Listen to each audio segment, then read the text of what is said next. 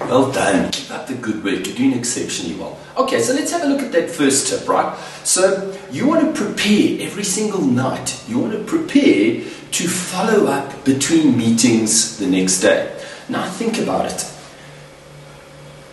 You know that you cannot ever arrive at a meeting even one minute late. If you're a minute late for a meeting, you've broken the trust with that customer. And as you know, trust is one of the most crucial elements when it comes to sales.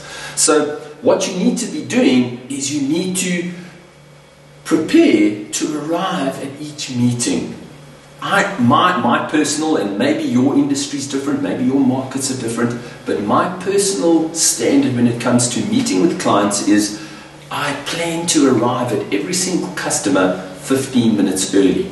Now, that seems like a huge waste of time. I mean, imagine if you're having eight appointments every day and you're going to arrive at every single appointment 15 minutes early.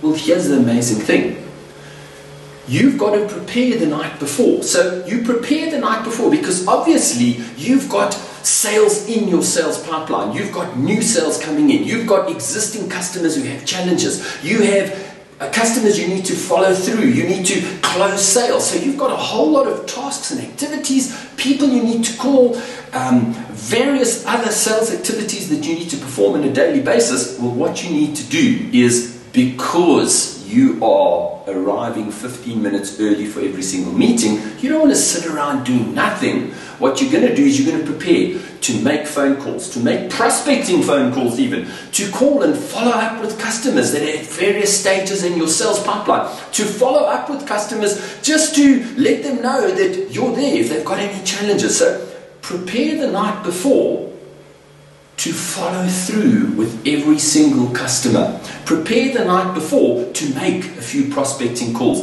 Prepare the night before you fill in the blank. You know your industry. So prepare the night before to make sure that when you've got some spare time, because you always have, there's always a meeting finishes early or you arrive at a meeting early, which I hope is always the case, you've always got some time. So instead of just sitting around doing nothing, invest the time the night before and find out, create a very clear list of exactly what you're going to do between meetings.